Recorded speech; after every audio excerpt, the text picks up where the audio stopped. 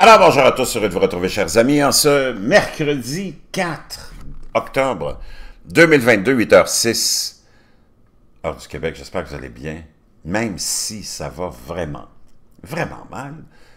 Et dans le fond, ça va mal à plusieurs niveaux. Merci d'être là avec moi sur YouTube, ceux qui ne sont pas abonnés, faites-le maintenant. Merci pour les liens, les messages que vous m'envoyez, c'est toujours super, super pertinent. 8h06, heure du Québec. Juste un petit clin d'œil pour le, vous rappeler que l'élection euh, générale du Québec, au Québec hier, euh, s'est déroulée euh, sans surprise. Le statu quo, hein, le troupeau de moutons a été bien manipulé pour voter dans la continuation du rien du tout.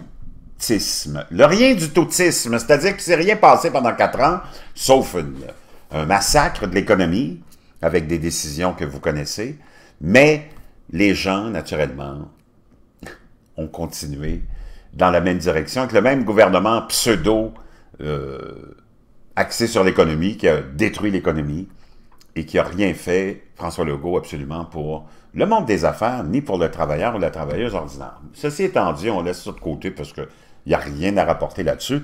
Je vous ramène dans quelque chose de plus, beaucoup plus intéressant. Vous savez, il y a eu la semaine dernière euh, deux ou trois explosions euh, en mer Baltique, au large du Danemark, euh, sur ce fameux pipeline Nord Stream 1 et 2. Et tout le monde se gratte la tête à savoir qui aurait pu provoquer ces explosions, parce que c'est un acte de sabotage auquel on a assisté. Et, naturellement, toutes les théories et les spéculations et les rumeurs vont bon train. Quand tu y penses froidement, sans émotivité, tu te dis, ça serait vraiment pas logique que les Russes aient attaqué leur propre outil de pouvoir sur l'Europe, c'est-à-dire les deux pipelines.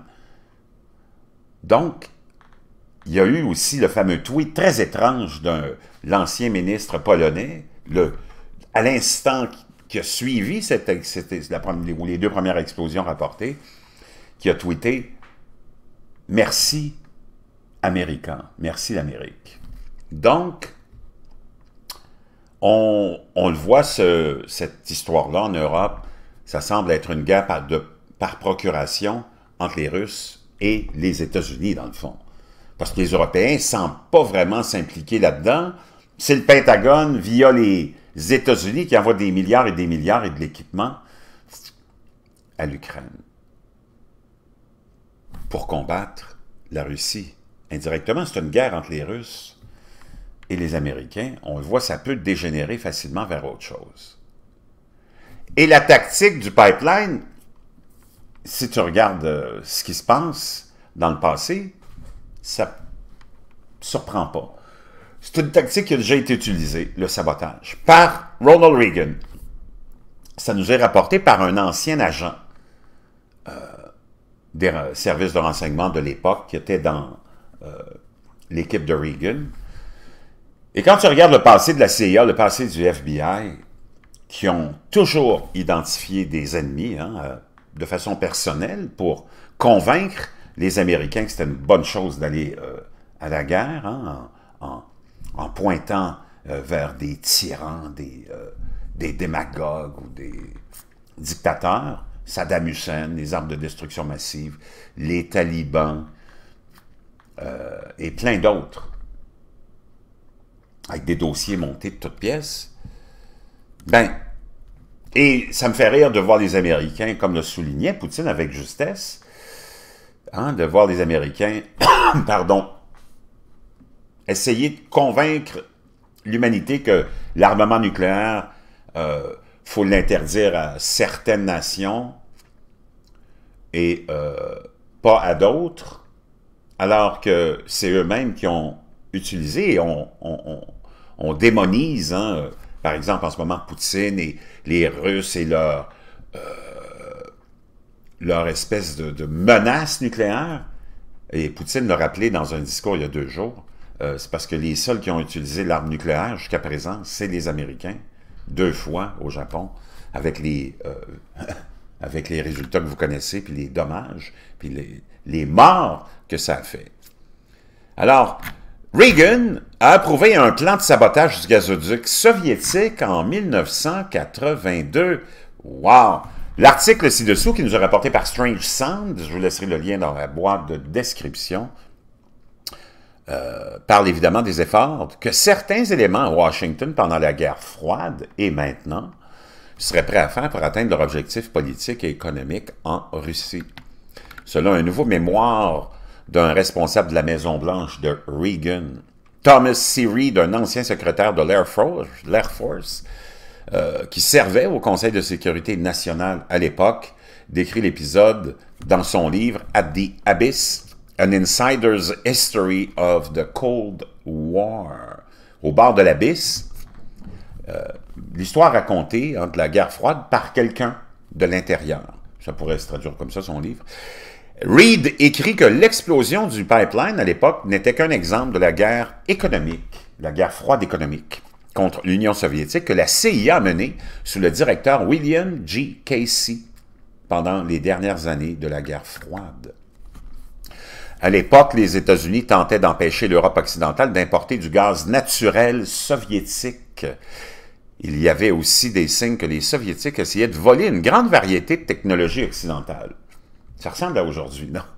Ensuite, un initié du KGB a révélé la liste de courses scientifiques et la CIA a glissé le logiciel défectueux aux soviétiques d'une manière qu'ils ne pourraient pas le détecter.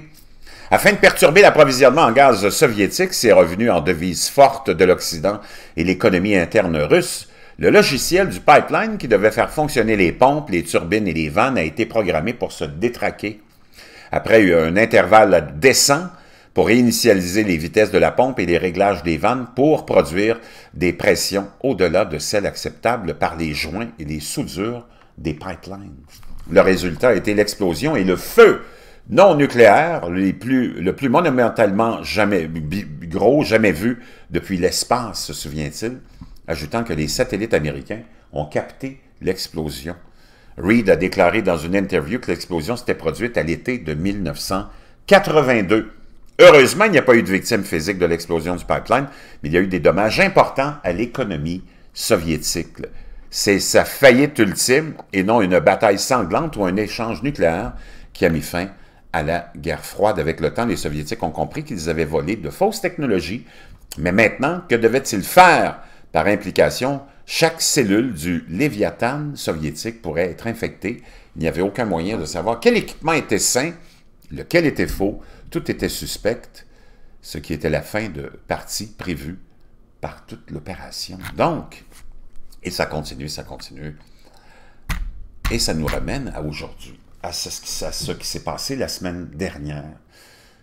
Et ça semble être euh, difficile à identifier qui aurait pu, il y a plusieurs acteurs qui auraient pu euh, être, euh, être l'auteur ou être les auteurs de ces explosions la semaine dernière, mais quand tu regardes l'histoire, hein, les États-Unis, les premiers à utiliser l'arme nucléaire, les premiers à mettre des, souvent des, des, politiciens, des présidents euh, marionnettes dans plusieurs pays pour les exploiter. Les premiers à avoir utilisé euh, le sabotage en 1982, on le voit là. Est-ce que ça pourrait être possible encore aujourd'hui? Ben, je vous laisse tirer vos propres conclusions. Je vous laisse partager ça parce que c'est vraiment intéressant dans le contexte actuel. Je vous reviens.